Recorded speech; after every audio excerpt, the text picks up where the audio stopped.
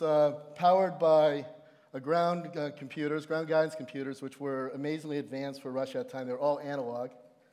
And it was um, one fifth, those three computers were combined were one fifth the power of an IBM 360, which came along uh, very soon after in the 60s.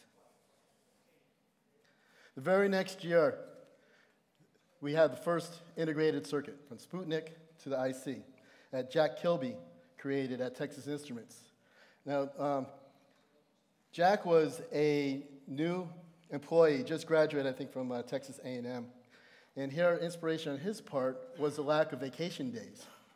Since he was a new employee, everybody else at TI had gone home for Thanksgiving vacation. He didn't have the vacation day, so he had to stay and worked in the lab and created the first integrated circuit because of that. He was honored with a uh, Nobel Peace Prize after his death.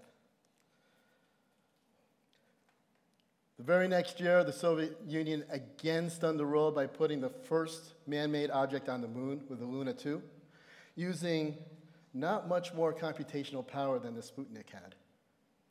Just an incredible achievement. On into the 60s was a decade of competition, the competition between the Soviet Union and the United States that really drove advancements in space. Yuri Gagarin, of course, orbited Earth in 61, another incredible achievement for the Soviet Union. And he then um, invited us all into the cosmos. That same year, we had the first Silicon IC chip by Robert Noyce, uh, Fairchild, in uh, Silicon Valley. Another, another huge achievement on the microelectronics side. In 1964, one of the traitorous eight, Gordon Moore, while at Fairchild, about to move to Intel, uh, published a paper called Moore's Law. And this is the path that we've been on ever since. For over 50 years, uh, Gordon Moore predicted that the number of transistors that we can put on a silicon IC will double every 18 months. Now, that's been modified to double every two years. It's still a phenomenal, absolutely incredible rate of progress. And you can view that either as number of transistors, uh, computing power on an IC.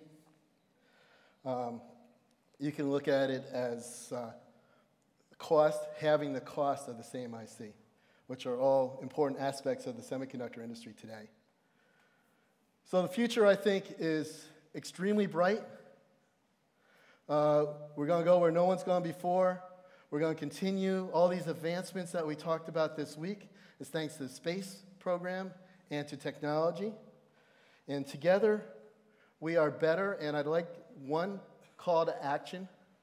I think you heard from Jill Tarter that the uh, SETI antenna arrays are now down for lack of funding. Incredible that we have that wonderful capability, and yet we're not able to run them because of lack of funding. So, um, Karen Russell has developed a new program called SETI Stars, where every one of us can participate. We, each one of us can uh, become a SETI star by donating whatever amount uh, you feel is worthwhile. Uh, to get those antennas back up and running, is only $200,000. And then the um, operating amount is $220,000 a month after that. But for $200,000, we can get those antennas back up and running. This is a new program just introduced two days ago. So I urge everyone here, please go to SETIstars.org, take a look at it. And um, this is something that every one of us can do to, uh, to impact this effort. So thank you. Spasibo. Gracias.